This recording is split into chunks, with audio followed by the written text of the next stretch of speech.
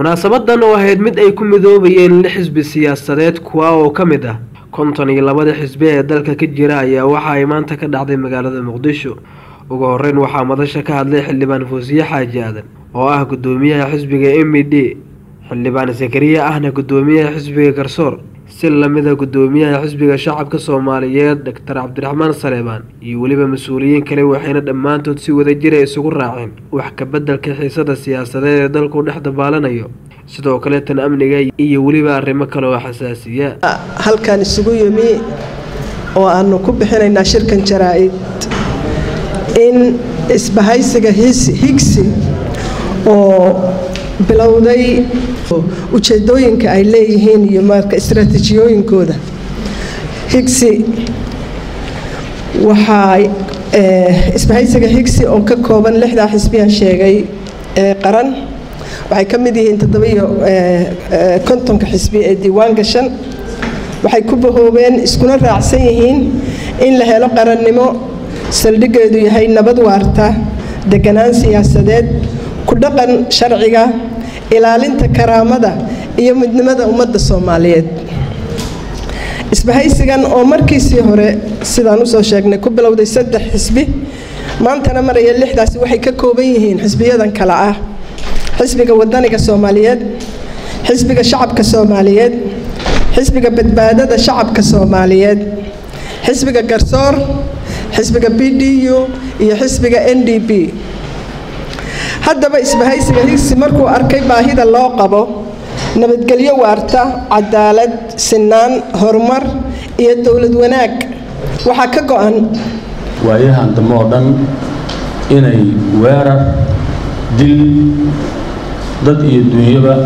burburin hanti ummadeed iyo mid muxuu ahaa sharikado soomaaliyeed gudaha soomaaliya inay muxuu ahaa siday rabto u soo gasho ciidamadeedu u soo galaan si sharci darro ah si sharci darro ugu laayaan dadka waxay hadda arrintu maraysaa isirtirtirid waxa la yidhaahdo ama afka qalaad lagu yidhaahdo ethnic cleansing kenya waxay gaartay heerka ethnic cleansing wixii soomaali ah inay laysuha ku jiro xadbeenaadkeeda muxuu ahaa dhulka dhulka soomaaliyeed ay xoogka ku haysatay ingiriisku ku wareejiyey ama ha ahaado annaga dhulka iyo gudihiisa dowladda soomaaliya waxaa u dambeeyey waad meel walba ku aragteen muxuu ahaa internetyada iyo tviyada iyo warbaahinta ku aragteen geel ciiddaa ka badan oo daadsan oo ay laysay. Mataqaana qududuruurgooda xoogsada. Waxaa yeelay haddii jid la xidho ganacsigu hoos buu dhacaya. Dadkaasna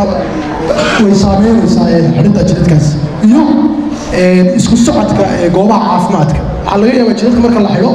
in qofkii xanuunsanayay ama qofkii bukay ama qofkii ay dhib caafimaad soo gaadhay ay ku adkaanayso sidii goob caafimaad uu ku aadi lahaa. Sida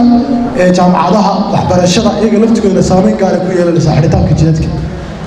Iyo isku socodka degmooyinka oo mataqaanaa sidii loo kala gooshi lahaa degmooyinka oo ay dadku iyo shacabka caasimada ka maarmin in degmooyinka kala gooshaan in aan u midoobay aan banaa iskaashi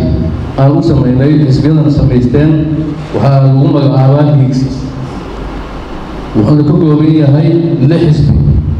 Annagu dhigmayno sidii dokaataba maalin dhaweyd xisbiyadii midoobay ay u dhaheen xisbi waaweyn aan nahay annagu dhigmay waxaan ka mid nahay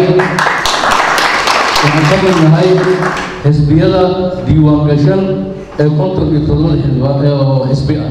maxaa yeelay konton iyo toddoba xisbi ayaa diiwaan galsan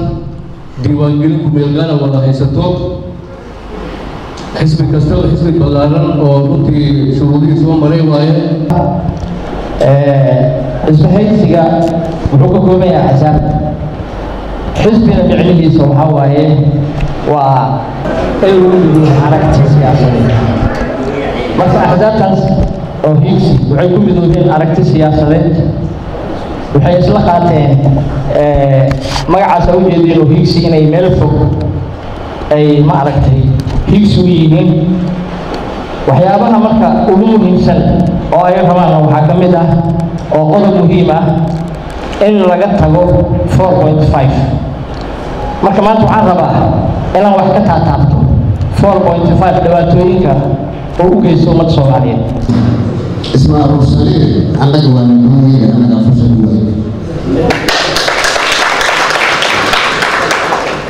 taas waxaan ka daawiyaha dadka aan ogeynaan raba anaan u sheego cabdilaahi cabdirasaaq aadan casaani star t v muqdisho